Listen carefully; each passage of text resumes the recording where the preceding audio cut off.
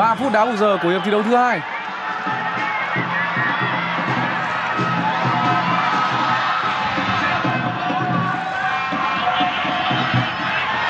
Văn Hậu. Và Đó là Hoàng Đức thưa quý vị. Một cú dứt điểm từ xa Với lực rất căng và cực kỳ hiểm ác của Hoàng Đức. Và đây có thể bàn thắng là bàn thắng sẽ mang lại chiến thắng cho chúng ta trong trận đấu này.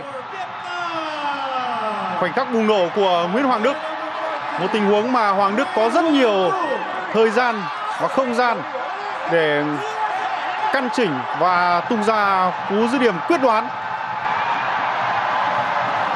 Rất khó để có thể diễn tả được cảm xúc của các cổ động viên Việt Nam vào thời điểm này Đặc biệt là những cổ động viên đang có mặt trên sân Riza Memorial.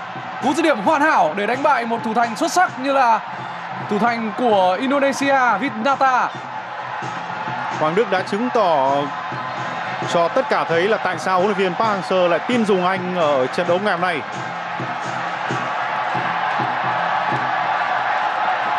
Ba điểm đang đến rất gần với đội tuyển U22 Việt Nam. Và ba điểm